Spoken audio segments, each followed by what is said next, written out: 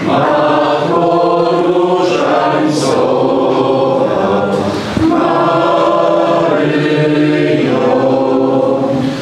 Архієпископ Мічеслав Мокшицький дякує за 15 років служіння. 21 жовтня у каплиці митрополитчої курії Львівської архідієцезії архієпископ Мічеслав Мокшицький, митрополит Львівський, під час святої меси коронував образ Пресвятої Діви Марії вінцем із 12 золотих зірок. Це символічний вотум вдячності архієпископа Богородиці за опіку та захист протягом усіх цих років служіння Львівській митрополії, а також за усі отримані за посередництвом Богородиці благодаті. Власне, 15 років тому, у день спомину блаженного Якова Стрепи, покровителя Львівської архідієцезії, Львівську церкву очолив архієпископ Мічеслав Мокшицький, багаторічний другий секретар святого Йоанна Павла II та єпископ-коад'ютор кардинала Мар'яна Яворського. Разом з митрополитом Святомесу співслужили його єпископи-помічники Леон Малий та Едвард Кава, а також ректор Вищої духовної семінарії святого Йосифа, директор теологічного інституту та священники, які працюють у митрополичій курії.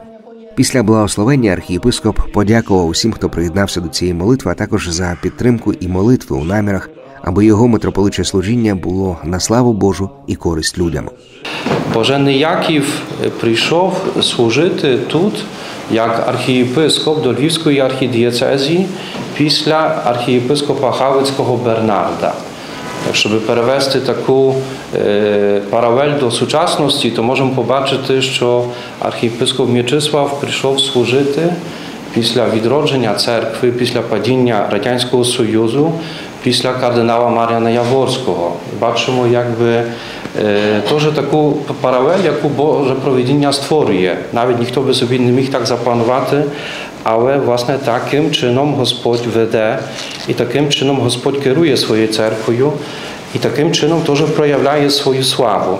Якщо дивимося на Боженого Якова, він як францисканець, який прийшов і знав цю архідієцезію, зустрівся не відразу з великим зрозумінням чи прийняттям, мав свої труднощі. Знаємо з історії, що навіть в Галичі не був прийнятий.